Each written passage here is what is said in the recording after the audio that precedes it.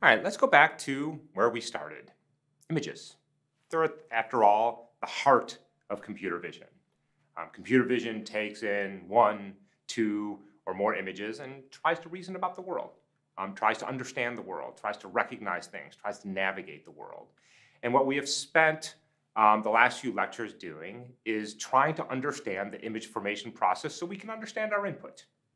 And so we went from well, there's an image of Hany standing in front of uh, a monument, to really starting to understand things like how a camera figures out proper exposure. It balances shutter speed, it balances aperture, it balances sensitivity, ISO, to uh, satisfy the exposure equation so that the brightness of the scene leads to a well exposed image.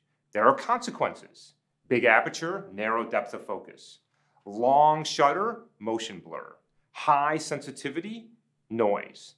So there are consequences to just, it's not about just making pretty pictures. You have to decide what you want. Do you need everything in focus? Do you need a crisp image? You, can you tolerate motion blur? And we have to sort of make those determinations. We also understand the basics of image formation in terms of perspective projection, which, by the way, artists have understood for hundreds of years, at least implicitly if they didn't have the equations, which is that as things move away from us, they get smaller and smaller, and we derived why that is. We have an algebraic and linear algebraic model for perspective projection that explains the types of things that you see in this image with the receding um, line. We know why things are out of focus now. There's a lens up front, there is an aperture.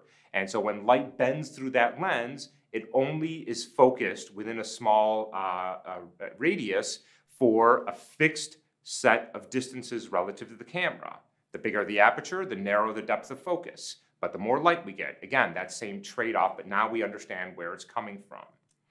Um, we also understand where that color fringing comes from. That's Snell's law. That has to do with the fact that light bends, again, understanding how light enters a lens and is focused.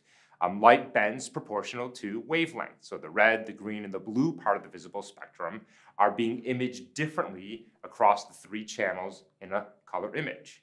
Um, we know where the noise comes from. It has to do with sens sensitivity of the sensor, and it has to do with the imperfections of converting light from an analog signal into a digital signal. And again, somewhat can be con controlled by how bright the scene is and what the ISO is, and in some cases can't be controlled. And then where we just left off was JPEG compression. That when you take that image and take those raw pixels and write them off the camera, you have a choice. What is the file format? The standard format these days is JPEG compression. For better or worse, it is the standard, but it does lead to imperfections um, and particular things like blocking artifacts and blurriness and color aberrations.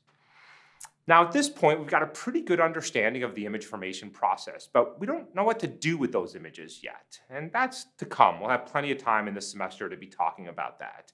But at this point, I just want to say everything in this, in this class builds on the previous material. It's incredibly important that you understand all of these concepts. You should understand the perspective projection equation. You should understand that conversion from world to camera coordinates. Um, you should understand um, all the various aberrations, the, the trade-off between aperture size and shutter speed and ISO.